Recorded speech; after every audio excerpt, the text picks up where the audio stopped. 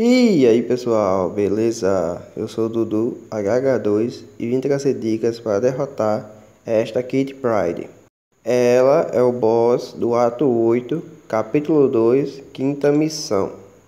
E contra ela, o Nimrod é sem dúvida a melhor resposta, a melhor opção para derrotá-la com tranquilidade, pois ele consegue remover as proezas com facilidade e causar muito dano de choque nela. Existem outros atacantes que removem proeza, como o Yondo, o máquina de combate, mas neles falta dano, enquanto que o Nimrod tem mais dano entre esses três. Mas perceba aí nessa luta que vai demorar bastante. Vai demorar um pouquinho, vai se estender por causa do nó oscilar. Ou seja, a cada 15 segundos a Kitty Pride ganha uma fúria passiva e ela fica agressiva. Nesse momento de fúria, ela fica mais vulnerável, ela recebe mais dano e causa mais dano.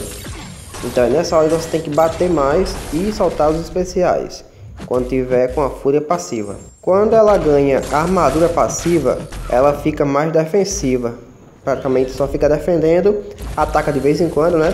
E recebe menos dano por causa da armadura. Então, nesse momento, ela vai resistir mais aos seus golpes e vai durar mais. Então é importante você soltar os seus especiais quando tiver a fúria passiva. E aí vai entrar o dano completo nela. Outro nó bastante importante é o agressão proeza, ou seja, a cada 2 segundos que você não bate nela, ela vai ganhar uma proeza passiva. Então tome cuidado para não ficar muito tempo sem bater nela. Tente sempre ficar no modo laranja ou no modo roxo do Nimrod para conseguir remover as proezas da Kit e causar mais dano de choque nela.